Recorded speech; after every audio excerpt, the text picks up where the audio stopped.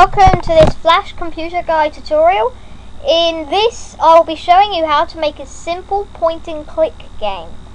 Um, your point and click game is kind of like, say, JonBro's Riddle School. If you haven't played that, I suggest you do, so you get the gist of what a point and click game is.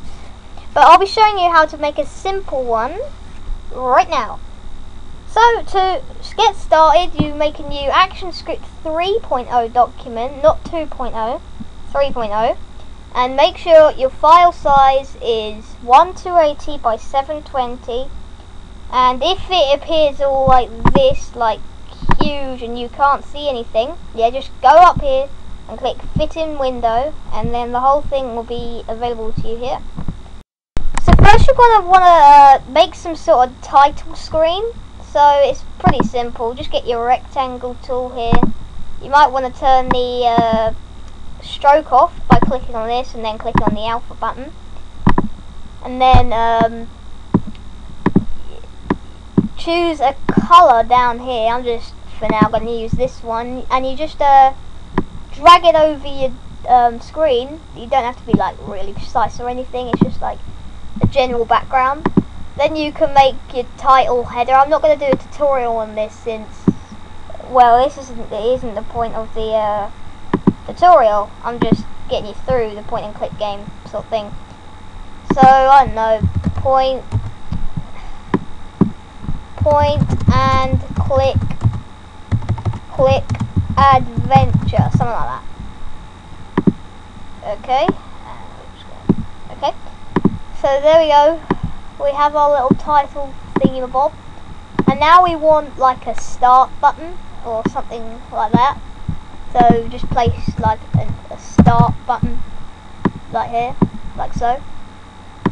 And now what you want to do is, uh, sorry, static thing, is click on your start button and press F8 and this brings up the convert to symbol window. Uh, you want to change it to a button, so when we click on it, it brings up the adventure thing. Uh, for now, call it start button, BTN or whatever. Click OK, and do the same with the instance name. What an instance name does, in case you don't know, is it uh, so when you're um, doing all your scripting and stuff, the instance name kind of declares what that object is. So we're doing like start button so just press OK.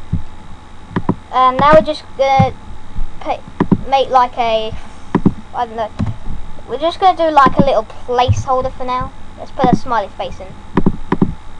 There we go. Um, so first, what you want to do is click on this frame, the first frame, which is your menu screen. Press F9, give it a second, to bring up the actions panel. You can shrink it or whatever, it's up to you. So I'm just going to drag it over here. So, here's where, um, here's where our instance name and stuff comes in. So, remember the instance name of our start button, which was literally start button. So we're going to type in its instance name, go start button dot add event listener. And what an event listener does is it basically, well, it listens for an event, like this is a mouse event, and we want the user to click on it, and so that declares that. We put the comma here, and then we define our function name. We haven't made our function yet, but we're going to make our function. And so we're going to do start game, and then one of these. It has to finish with that, otherwise it won't work press enter a few times and then go function start game. So that's that here.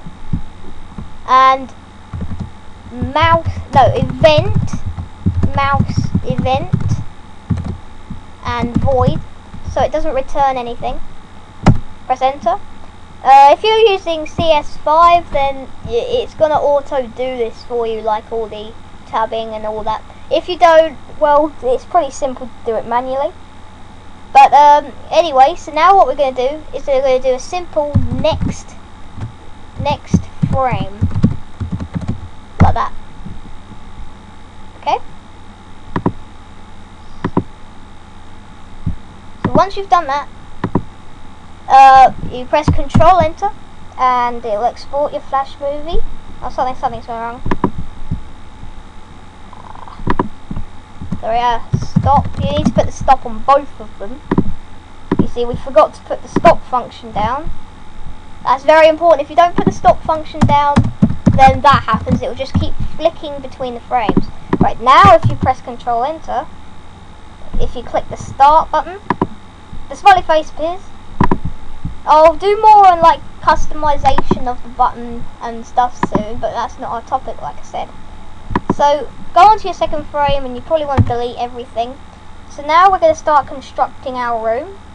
Uh, I'll skip the process of making the room because again it's not really like part of the tutorial. We'll do another tutorial on that like Photoshop or whatever.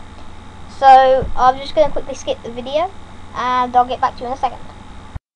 Okay, um, this is nothing much, it's just like this thing I made in about five minutes. But anyway, so we have a box and the door, that's about it.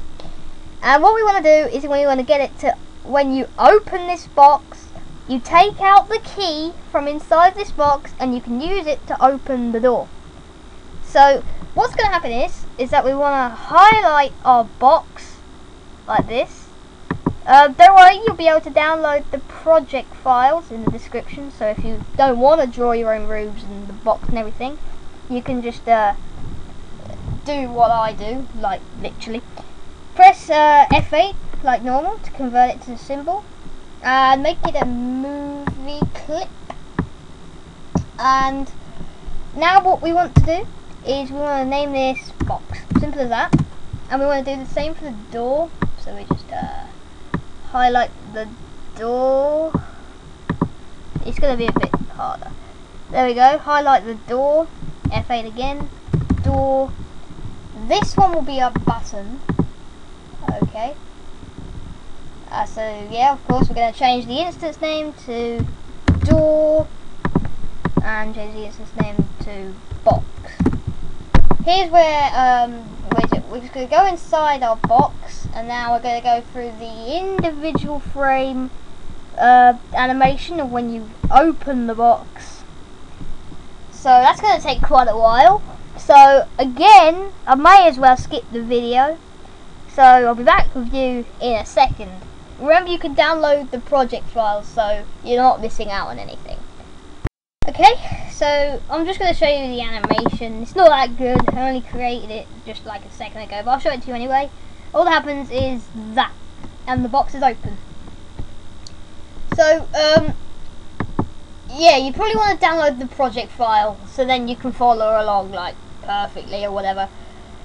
So I'll just pause the video for a second, okay? Now go into your box, and once you're inside your box, go to the first frame, hit F9, and put a stop function. Uh, obviously because otherwise it's just going to automatically open without you even clicking on it so what's going to happen is um, you want to put one on the end as well like a stop function. Here's where uh, we're going to add the event, yeah, sorry event listeners. So you you you're kind of familiar with them already since I showed you them in like a previous few clips.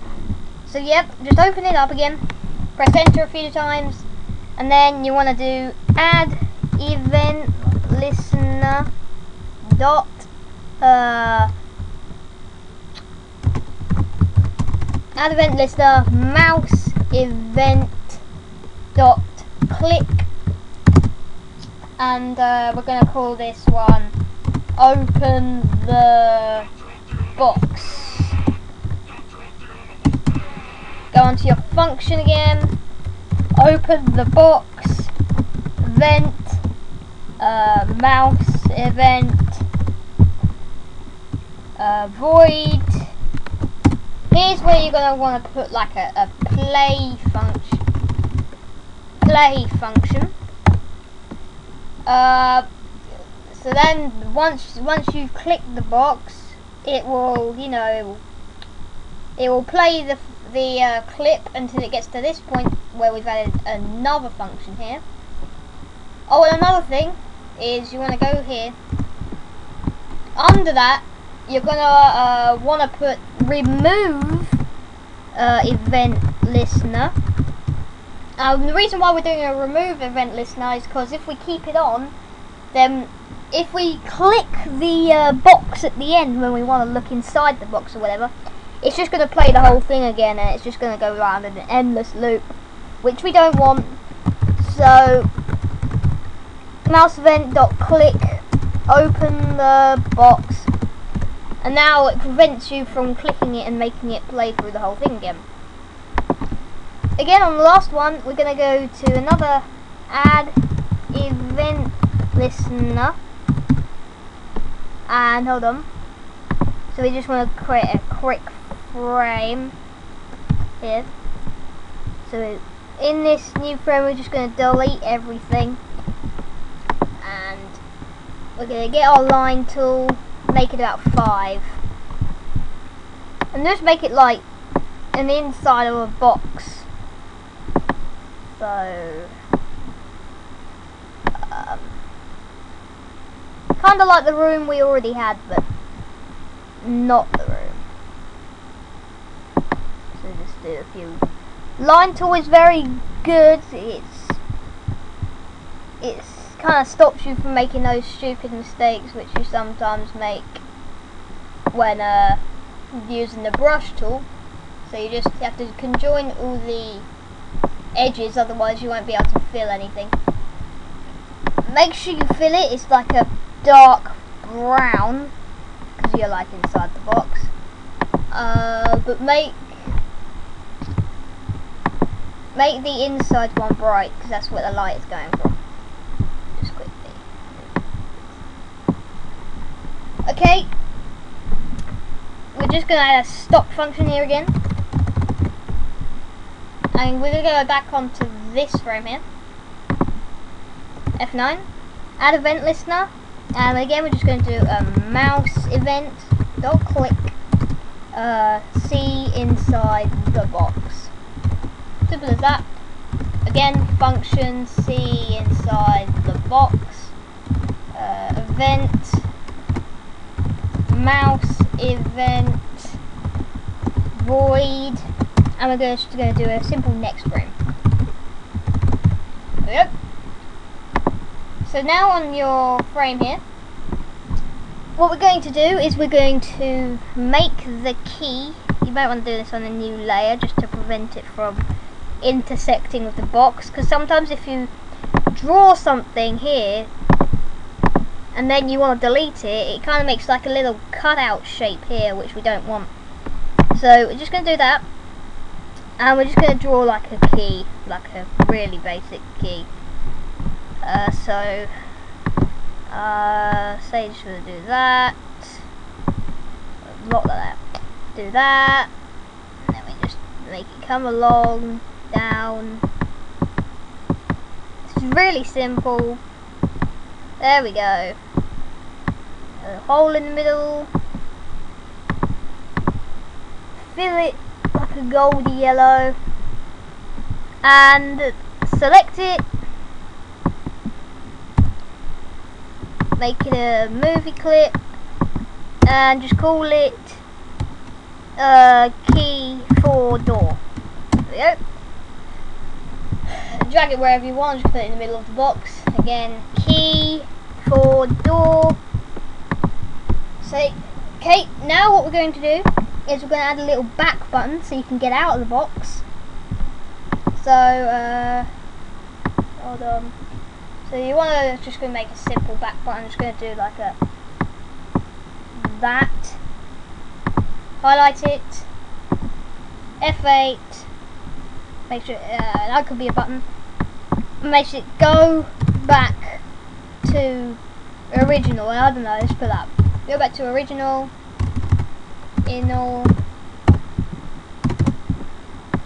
Go back to original like that. So that's that so far. Now what we're going to do is going to add some more scripting. So in here we're just going to do simple um,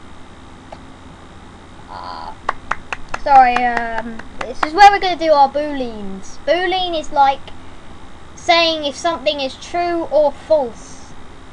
Like saying if you, this is for the door, so we're going to say at the beginning the boolean is false, but when you take the key, it's true, meaning that you can open the door. So what's going to happen is, is that on, on over here, we're to make a new layer. And on our new layer. We're to put uh, var can no sorry uh, scene one. Global action script. So we're to create a new layer. F9 var uh, can you open door uh, equals boolean false. There we go. E sorry, space equals equals boolean equals false. We're going to be getting more into this uh, in the next tutorial, but I'm kind of running over time here. So I hope that helps you out. If it didn't, please tell me. I know I'm a bit like unsure in some places, but that's just me, I'm afraid. But if you like the tutorial, uh, then good. I hope you watch some more of them when they come out. Please rate, comment and subscribe and thanks for watching.